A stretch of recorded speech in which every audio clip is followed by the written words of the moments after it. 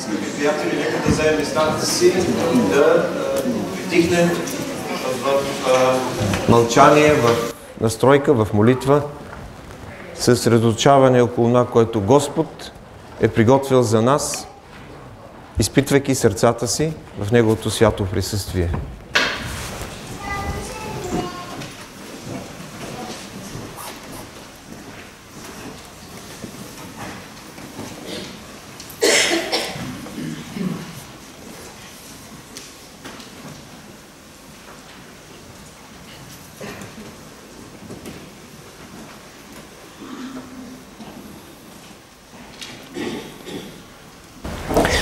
Прочета Псалом 100. Възкликнете към Господа всички земи, служете на Господа с веселие. Елате пред Него с радост. Познайте, че Господ е Бог. Той ни е направил и ние сме Негови. Негов народ сме и овце на пазбището Му. Влезте в портите му с славословие и в дворовете му с хваление. Славословете го и благославяйте името му, защото Господ е благ. Милостта му трае до века и верността му от род в род. Първи и втори стихове са призиви за радостно поклонение. Служете на Господа с веселие. Елате пред Него с радост. В този ден на евангелската песен, една добра традиция, която ние продължаваме. И днес основната тема е да го хвалим с радост, да идваме пред Него с радост. Какво е радостта? Какво означава да изпитваме пълнота от радост, за която ни говори Божието Слово? Надявам се това да бъде в фокуса на нашето внимание, когато го хвалим и когато а, четеме от Божието Слово. В трети стих е дадена първата причина за хваление. Казва се, Той ни е направил и ние сме Негов изкупен народ. Това е основна причина за хваление, за радостно хваление. В четвърти стих отново имаме призив. Влезте в портите му с славословие. Някои от вас влезнаха в, през портите на нашият молитвен дом, но дали влезахме с веселие? В, последните, в последният пети стих ни се дава още една причина за радостно хваление. И това е Божията милост и вярност, защото Господ е благ, милостта му трае до века и верността му от род в род. Не само, че сме Негов народ, че Той ни е сътворил и че ни е изкупил, но той е милостив, Той е верен и нищо не може да ни отдели от Неговата любов. Не е ли това достатъчно голяма причина да го хвалим и да се радваме заедно? Нека да се изправим за молитва и за хваление. Господи, благодариме Ти за всичко това, което си приготвил за нас. Благодариме Ти за истината, която идва от Твоето Слово и която ни дава здравата основа за поклонение, за хваление, за прославяне на Твоето име. Благодарим Ти за това, че имаме чувството, че сме в Твоята ръка, че Ти си обгърнал живота ни и макар често да преминаваме през изпитания и през трудности, ние знаем, че сме Твои чрез кръвта на Христос. Чрез вяра която си вдъхнал чрез духа си. Благодарим ти за делото на духа, за обновлението, за надеждата, която имаме, за радостта, която а, очакваш да изпълва сърцата ни винаги в Твоето присъствие. Направи го това сега реалност в нашето хваление, в нашето събрание, за да растем в благодат и сила. В името на този, който за нас умря и възкръсна. Амин. Амин. Нека пееме Тос е денят и радвам се аз.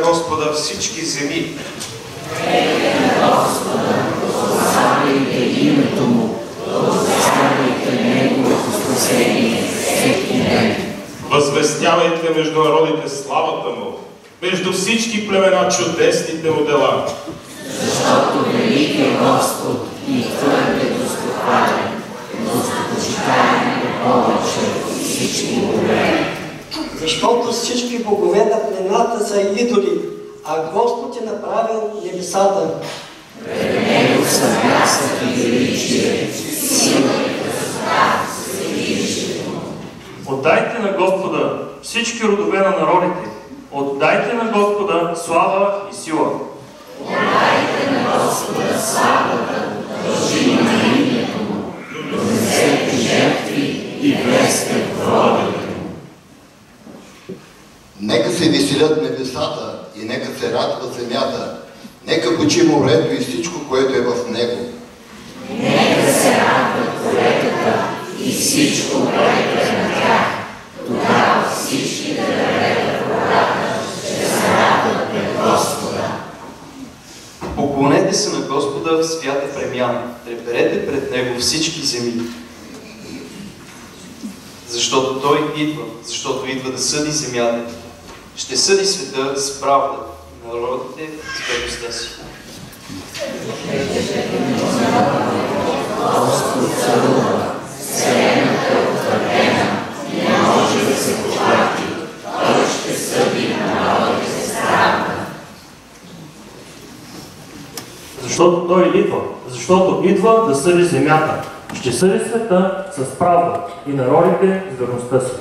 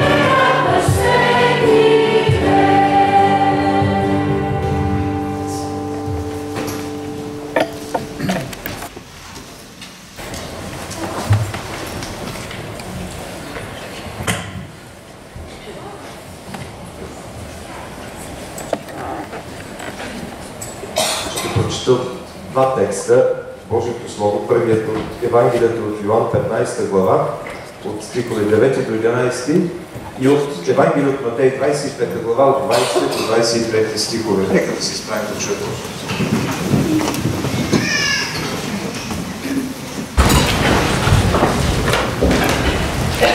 Както Отец възлюби мене, така и аз възлюбих вас. Пребъдвайте в моята любов. Ако пазите моите заповеди, ще пребъдвате в любовта ми, както и аз опазих заповедите на моя Отец и пребъдвам в Неговата любов.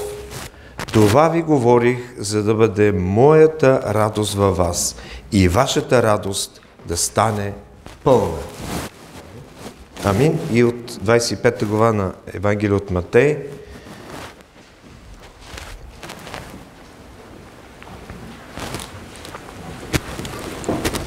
И когато се приближи този, който беше получил петте таланта, донесе още пет таланта и каза, Господарю, ти ми даде пет таланта, ето, аз печелих още пет. Господарят му каза, хубаво, добър и верен слуга. Над малкото си бил верен, над многото ще се поставя. Влез в радостта на Господаря си. Приближи се и този, който беше получил двата таланта и каза, Господарю, ти ми даде два таланта. Ето, спечелих още два таланта. Господарят му каза, хубаво, добър и верен слуга. Над малкото си бил верен, над многото ще те поставя. Влез в радостта на Господаря си. Амин. Нека да имаме предвид нашата сестра Мария Манолова, която е болна и не, не може да присъства между нас. Нека да се молим и за Давид, който а, премина а, през, а, надяваме се, последната операция, но а, има нужда от възстановяване. А, Влади, а, Влади, който ни обслужва камерата, а, и Антония, неговата съпруга, чиято майка а, отмина от този свят през изминалата седмица и те са в затруднено положение. Нека си молим. Господи, очакваме Твоята намеса в живота ни и затова в мястото на молитва заедно търсим Твоето лице, търсим Твоята помощ, търсим Твоята закрила, Твоето лечение и възстановяване. Благодариме Ти за това, че идваме при лекарят на лекарите. И за това, че идваме при този, който поставя диагнози и който решава изхода от проблема. И не само здравословните ни нужди са пред Тебе, поименно представени. Давид, молим Те за него. Молим Те сестра Мария Манолова. Молим Те за домът на Антония и на Влади. Но Те молим и за духовното укрепване на тези хора и на всеки един от нас. Колко е важно да бъдеме в едно състояние, което ти очакваш, не изкуствено привдигнати, но в смирение и в покаяние да изпитаме дълбочината на тази връзка, за да се бъдем издигнати, ти очакваш да бъдем смирени, както ти дойде, Господи Исусе, и премина през всичките етапи на човешкото унизение и деградация, за да поемеш нашите грехове, нашите престъпления. Благодарим ти за жертвата на кръста. И отново нашите песни са посветени на това, което ти си направил за нас, на това спасение. Благодарим и ти, Господи, и те молим тази основа да не, да не я забравяме, основата на нашата радост, Твоята скръп за нас. Благодарим и ти за дарът на живота, който имаме. Да се радваме за всичко, което си ни дал. В този живот, днес и тук, за малките неща, за малките радости, които ти можеш да увеличиш и да благословиш чрез Твоята пълнота. Затова си молим днес. Това очакваме днес. Молим те да ни научиш как да, да те хвалим. Молим те да научиш как да, да да изразяваме нашата признателност към Тебе и чрез хваление, и чрез свидетелство, и чрез живота си. колко е важно това за всеки един от нас. Молим те за децата, за младежите, за тези, които, които се учат и които взимат пример от нас. Какво им даваме? Какво оставаме? Благодарим ти за поколението на вярващите, които виждаме в Стари и в Новия Завет, които виждаме и днес, и да бъдем наследници и добри настойници на Твоята благодат. Молим Те, Господи, но ние живееме между хора, които не те познават, които те отхвърлят и някои от тях са доста агресивни. Молим Те за управлението на този народ. Да бъде утвърдено и постоянно със страх от Тебе, а не да се лута, както забелязваме. Молим Те за противоборството в парламента. Молим Те да дадеш единство по християнските ценности, онези, които Ти си оставил в Твоето Слово и всякакви а, конвенции и неща, които смущават, а, да бъдат използвани, а, да бъде обединен този народ в християнските ценности. Господи, молим Те, благослови делото си във всяка една църква, тук и в нашата страна и по целия свят. Сега се молим с общата молитва, която ни научи да казваме Отче наш, който си на небесата, да се святи името Твое, да дойде царството Твое, да бъдат волята Твоя, както на небето, така и на земята. Хлябът наш насъщни, дай го нам днес и прости ни дълговете наши, както и ние прощаваме на нашите длъжници, и не ни въвеждай в изкушение, но избави нас от лукавия, защото е Твое царството и силата и славата веки. Амин. Преди да излезат децата за неделното училище, моля да останат децата. Преди да излезат децата, искам да поканя треньорите на отбор Вяра и децата от отбор Вяра. Тези от вас, които знаеха и които се молиха и които гледаха онлайн библейското състезание за а, юноши, знаят за какво става дума. Тези, които не са, сега ще разберат. Ама май ще има и награди, да видиме. Сега кой ще разказва? А, искам да ви направя за 3-4 минути съпричастни към това, което ние преживяхме, защото не знам дали успяхте да гледате, но на сайта на Scripture Union го има а, запис, пълен запис от вчерашното състезание. И ще ви дам малко факти да ви, да ви представя атмосферата.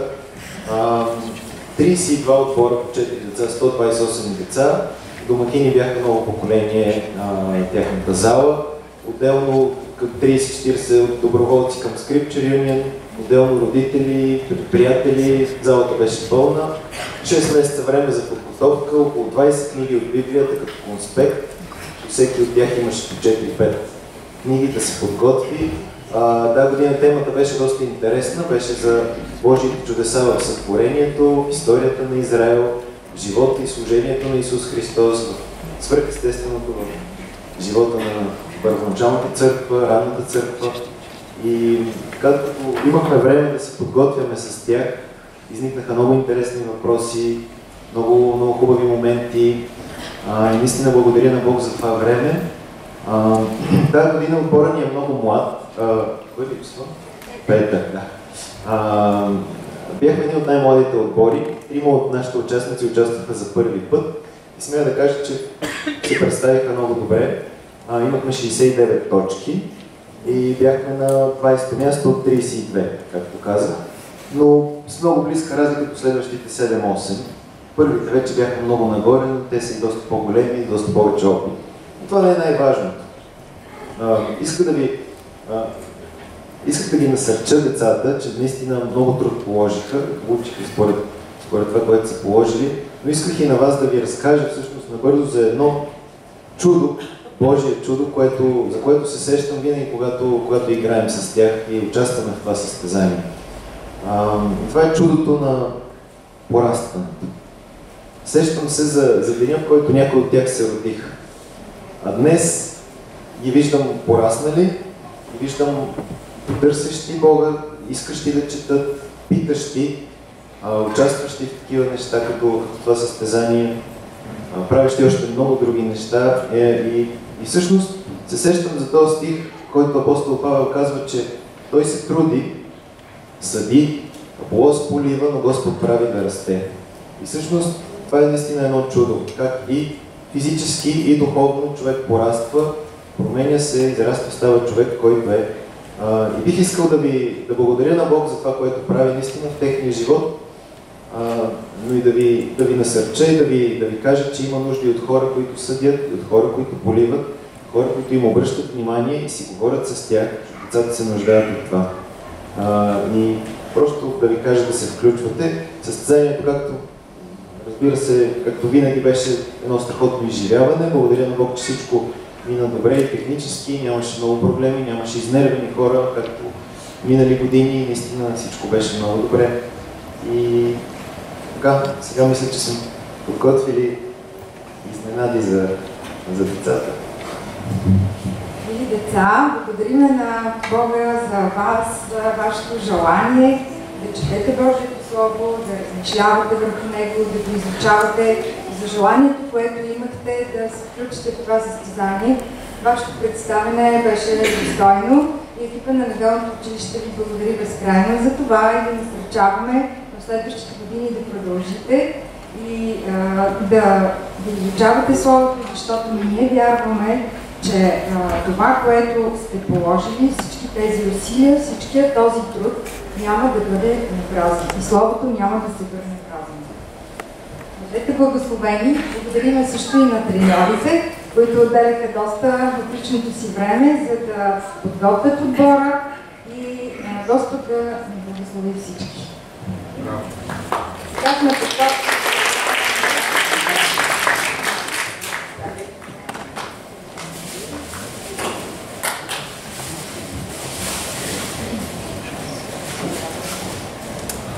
Аз пак ще ви кажа, на сайта на Scripture Union ще има много снимки, ще има, има запис на цялото състезание, който се интересува повече, просто не сме подготвили, ще не са обработени снимките, може би някой друг път може да споделим това. Господ да ви благослови. Амин. Амин. Аз съм сигурен, че до година ще минат а, а, с 10 места по-напред. Защото вече има с повече. С повече поправа. Ама сигурен съм, че има други деца, които ще кажат, искам и аз. Тогава ще видим какво ще правим. Ще правим втори отбор, нали? Да. Докато излизат децата, ние ще пеем Ей, нова чудна песен пея аз.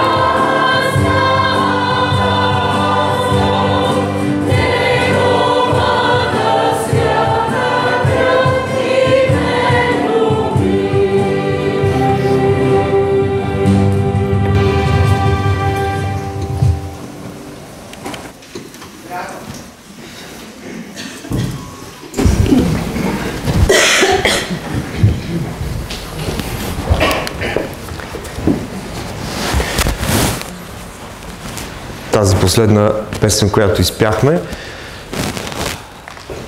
Един комплимент, един, едно връщане към едно славно време, когато бяхме като тези деца, които излезаха тук преди малко.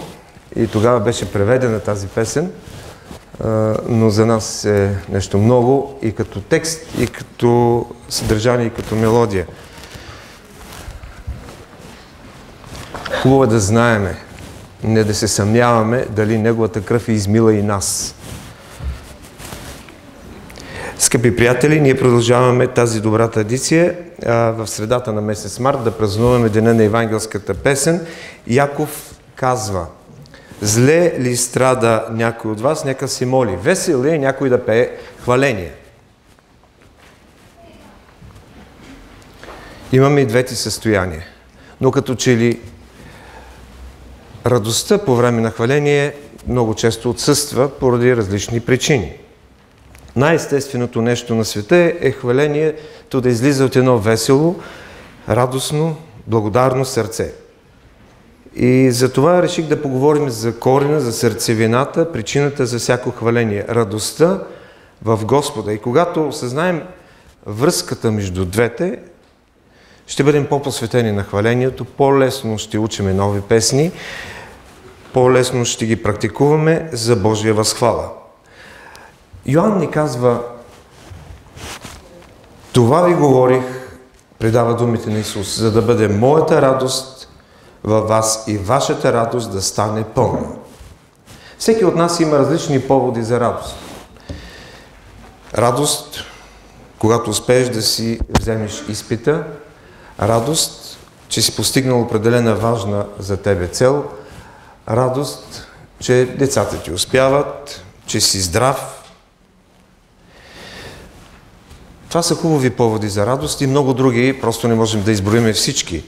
Нашата лична радост от живота и дори от серия от успехи, обаче никога не може да бъде пълна, без да получим една друга радост, радостта на Исус. Към тези наши нормални човешки радости, Исус обещава да ни даде една по-голяма, една по-значима радост. Казва, моята радост във вас. И тогава нашата радост ще стане пълна.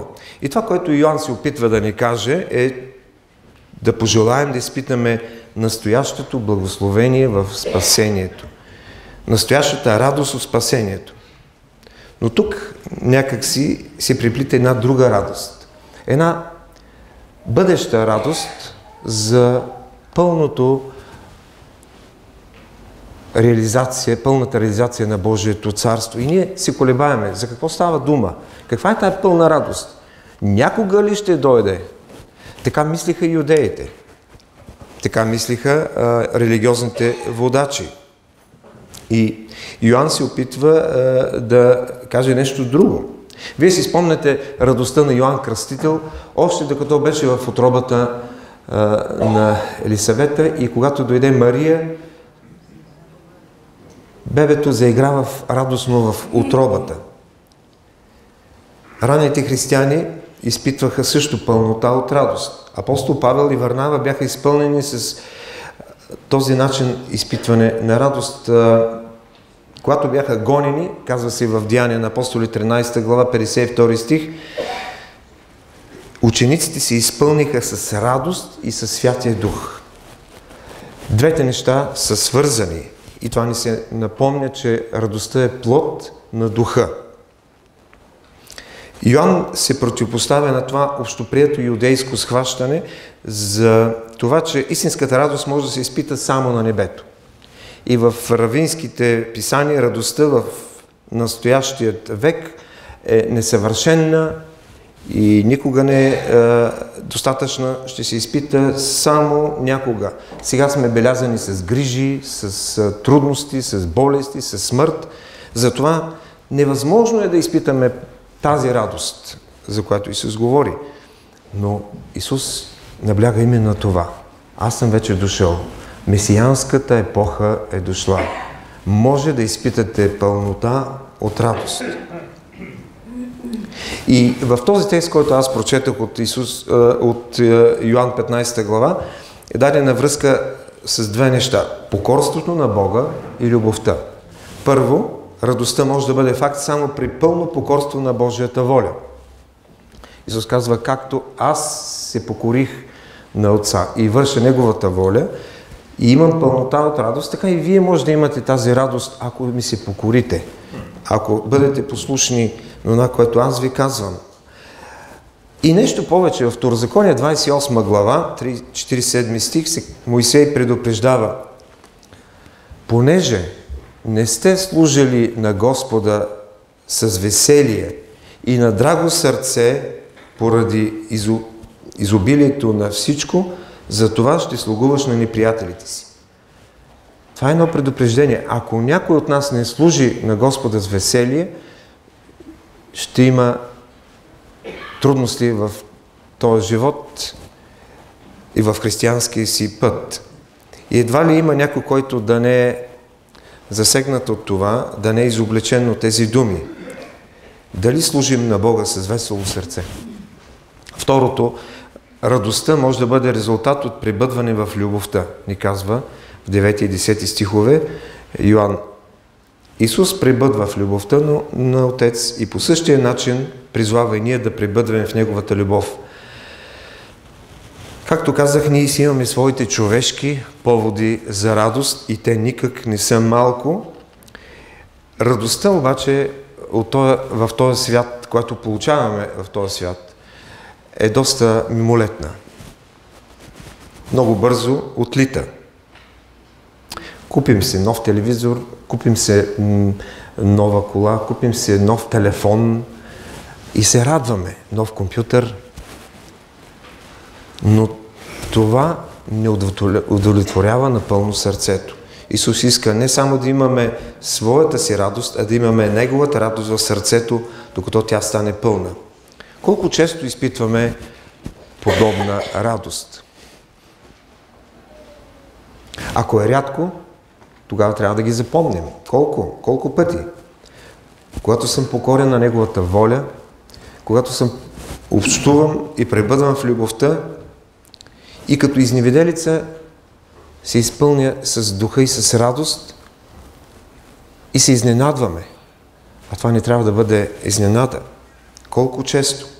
Колко често, когато излезем от тук, хората ни виждат весели, с засмяно лице, колко често можем да, да предадеме нещо друго, което липсва в този свят, където, където всички се оплакват, всички мърморят.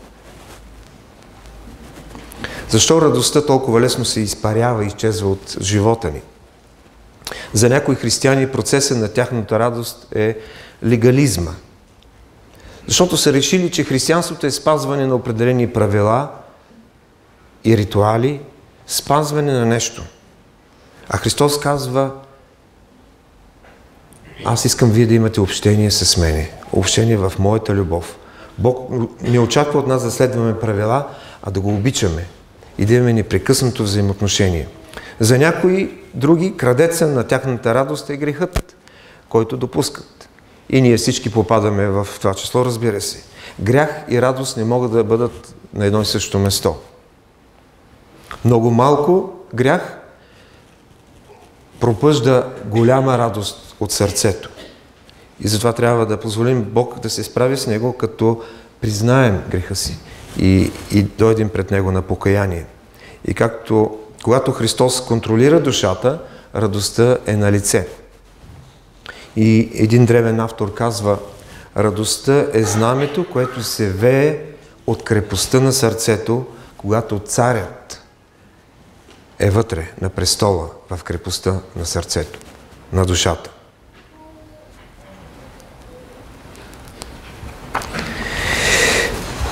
Във втория текст, който аз прочетах, това беше притчата за талантите, ако се спомните от Матей 25 глава, Исус получава как един човек преди пътуване, е, за дълго пътуване в чужбина, раздаде таланти.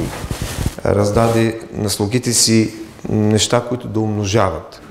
На един даде пет, на друг два, на трети един. Всички те са дадени по преценка на господаря, по способностите на всеки от тях. И каква оценка даде господарят при завръщането на слугите му? виждаме, че оценката не е свързана с количествените резултати, а с това доколко са били верни в служението, дали са дали всичко от себе си. За първият и вторият господаря казва хубаво, добър и верен слуга. Над малкото беше верен, обаче над много ще ти поставя. Влез в радостта на господаря си. Именно това ме интересува мен тази сутрин, предполагам, че всеки един от вас. Как да влезем в радостта на господаря си? Нашата радост не е достатъчна, тя е мимолетна, лесно се краде. Как да направим така, че нашата мимолетна земна веселба, макар и по един правилен повод, да бъде разширена, обогатена с радостта на Господа? Как знаем кога нашият Господ се радва, за да влезем в Неговата радост? Какво ни казва Библията за това от какво се радва нашият Господ? Едно от нещата, вие си спомнете, в една друга притча, в Лука 15 глава, се казва, че Господ, небето се радва и Господ се радва за един грешник, който се кае. Голямата радост в небето за един грешник, който се кае. Когато някой търси Божията прошка, когато търси Неговата простителност, изповядва греха си, ние не можем да се представим небесното ликуване, небесната радост. Влизаш в радостта на Господа, като се каеш и оставяш греха си. Второто нещо, което радва Господа, е верността над малкото, което ни е поверено. Това се е, подчертава особено в този текст от Божието Слово. А верността е свързана и с отговорността, която приемаме пред Бога за определено служение. Нашият естествен плътски нормален стремеж, човешки стремеж е да не бъдем отговорни пред никого, сами да сме си господари на себе си, сами да си управляваме фирмата, сами всичко да решаваме, никой да не ни е над главата. Обаче, благословените служители са тези, които са приели отговорност, които се отчитат пред Господари, които са верни на това, което а, Господ им е дал, които дават 100% от себе си. Всъщност, тези пет умножиха 100% от това, което Господ им беше дал. Тези с двата таланта също умножиха 100%. Бяха верни на това, което Господ им беше дал. Третото нещо, което радва Господа е когато събираме плод, за който сме се трудили с сълзи. Който се е с плач, с радост ще пожене. Това е идеята на много а, текстове в Божието Слово. Който се е с плач, с радост ще пожене. Струва ми се, че това някак си не се изплъзва. Защо е така? Защо не сеем с плач и с сълзи? Ми ние си казваме, абе Святия Дух ще се върши работата. Ние сме слаби, ние сме недостойни, недостатъчни. Святия Дух ще си работи в сърцето на човека. Нищо не можем да направим и нищо не правим. Нито сме всеодайни. Успехът, разбира се, има различни аспекти. Не само количествени, а по-скоро качествени. Но те ще се проявят, когато пренасяме, когато а, даваме всичко от себе си и се молим за всяко едно нещо, когато даваме всичко от себе си, за да влезем в радостта на Господаря. В това се прославя моят Отец да пренасяте много плод. Някак си свикваме с това да нямаме успехи, да нямаме плод. Ами много е трудно това поле в България. Много е атеистичен този народ. Колко причини си намираме – Бог се прославя, когато принасяме плод и тогава, чрез свидетелството, ние даваме израз на радостта си. Ние влизаме в радостта на Господаря, на Господа, когато се каем за греховете си, когато сме верни в служението и семейството и когато даваме всичко от себе си да видим Неговата жътва. Със сигурност ви се е случвало да преживеете нещо радостно, което искате да споделите с близките си. и те да не ви разберат. И те да омалуважат това, което вие споделяте като радост. И тогава се огорчавате. В притчи 14 глава, 10 стих се казва Сърцето познава своята си горест и чужд не участва в неговата радост. Всяко сърце си има тайна скръп или радост, която друг не може да разбере понякога. За съжаление, бихме казали. И спомня за един а, много благословен Божий служител, който решил да пише стихотворение. И написал първото стихотворение. Той бил доста млад тогава. Тинейджър. И когато споделил това, което е написал и очаквал реакцията, всички са намръщели и дори го нахокали. И след това той пише, този случай ми накара изобщо да се откаже от писане на стихове. Ако съм бил някой скрит талант, той се шегува, сигурно съм останал безвъзвратно загубен за света, тъй като сложиха точка на моето желание и на моя стремеж. Някои неща не можем да споделяме с другите, но има и такива, които можем да споделяме. Радостта е нещо, което се забелязва, което е заразително. Когато хвалим Господа, ние всъщност споделяме нашата радост за спасението и за всичко, което имаме в Него. И тази радост е благовестителска радост. Колко е важно хвалението винаги да бъде продиктувано от изблика на тази пълнота в сърцето. През тази зима храних пойни птички на балкона.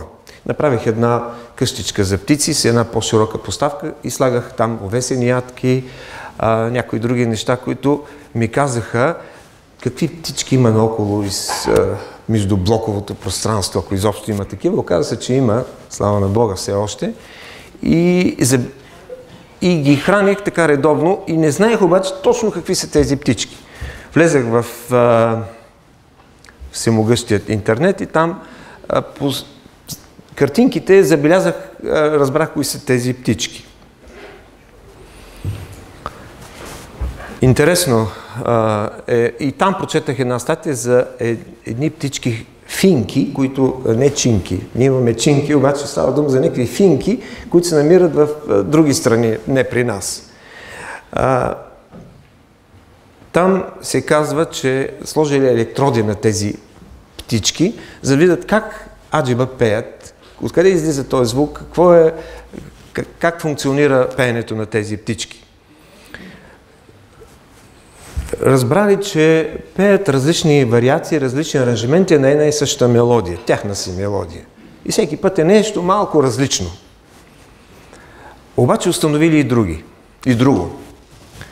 Дори когато спят, те пеят. За разлика от нас, когато спиме тук понякога, но не пееме. Нали? Но, но а, това тяхно пеене, това тяхно пеене а, било безгласно. Електродите показвали, че те пеят някакси отвътре, но без да издават звук. И си мисля, че това е интересно. Има ли начин как да измерим сърцата си? Дали пеят, когато се покланяме на Бога? Не само когато издаваме а, звуци, когато пееме правилно или, е, или неправилно, дали сърцата ни пеят? Как да измерим това? Радостта е този индикатор, който остава трайно в душата и когато излезем навън, можем да я предадем. Бог да ни благослови. Амин. Амин. Спасителю, това е нещо, за което жадува душата ни, да имаме Твоята радост, да имаме Твоята пълнота от радост, да прибавиш към нашите земни поводи за радост, които са добри, но да ни дадеш Твоята радост, духовна радост. Никога радостта от спасението, увереността от спасението да ни напуска. Никога да ни не напуска чувството на принадлежност към Твоето семейство, към Твоята църква. Никога да ни напуска онова, за което Ти се радваш и да го претворяваме в нашия живот. Покланяме Ти се. Благодариме Ти. Амин. Амин.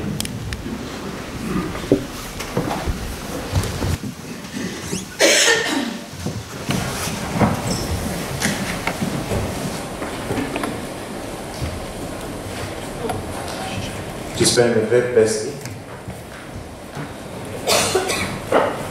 Акапелни. Първата е по народен мотив, втората също по народен, само че от друга народа. Thank you.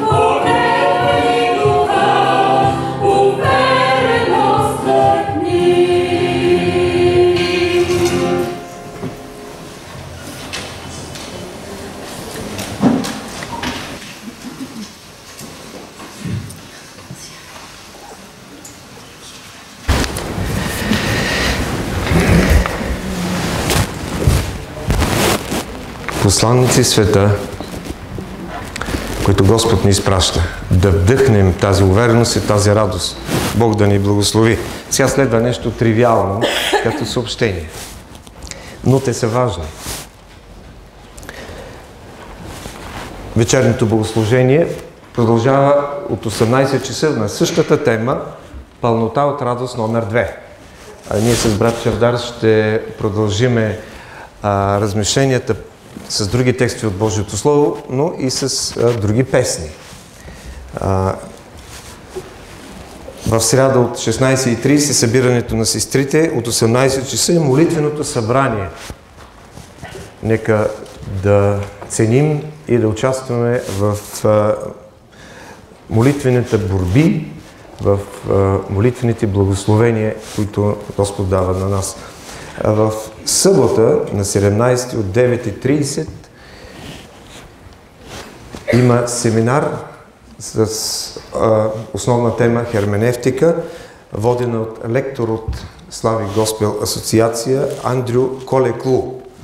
А, настояваме всички хора от ръководството, всички, които служат по някакъв начин, да бъдат включени в а, този тип обучение, защото той е тук на место. А, достатъчно добро ниво е, дори за тези, които са завършили библейско обучение на други нива, е полезно да се възстановят неща. Как разбираме, как изучаваме словото херменевтика. А, настояваме да се включите в 9.30, събота 17. Кафе книжарницата е отворена за общение, за закупуване. Библиотеката днеска няма да работи, тъй като библиотекарката не я виждаме. Тя е заета днес. Тези от вас, които са решили днеска да я посетят, ще бъдат разочаровани, но следващия път тя ще бъде на место. На 12 март, понеделник, т.е. утре, ръководството, т.е. настоятелството има своето заседание от 19 часа.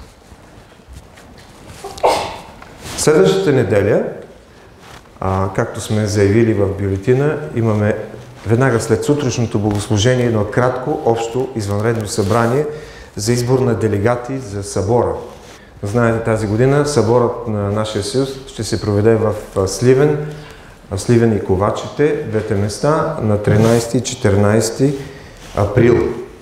След Великдена, следващия уикенд, така че трябва да изберем делегати следващата неделя. Ако не съм пропуснал други съобщения, да, заповядай. Здравейте на всички. Аз искам да направя едно съобщение, което е свързано с а, семействата в а, църквата. През а, май месец, началото на май, има един по-дълъг уикенд а, и тогава ще имаме събиране на семействата в Велинград. Това са дните от 5 до 7 май. Регистрацията за това събиране вече е в ход. За повече информация или за записване или нещо, ако ви интересува за това събитие, може да се обърнете към Виктор Емануилов и Мария Емануилова, също и към мен или към моята съпруга. Ние сме Николай и Елка Златева. Това е. Ще се постараем, да, в базата вероятно няма да можем да се съберем, ще осигурим място за всички желащи. да, това е, това е добър въпрос. Възрастта е на ограничение, да, това са семейства до 50 години. Може би някои са разочаровани, но да, другите могат да направят паралелно. Благодаря. Друго, друго, друго. Ни прати и 50 години. Въпрос на гледна точка. Добре. А, искам да поздравя гости, които са за първ път тук между нас. Ако има такива, а, вероятно има, защото виждам непознати лица или по-рядко идват. А, виждам от църквата в Баня, Тинка, радваме ти се, макар да си сама. Има ли други гости от други църкви, ако желаят да кажат нещо? Ако не, пеем заедно последната песен по време на която събираме даренията Радост, радост на земята. 387.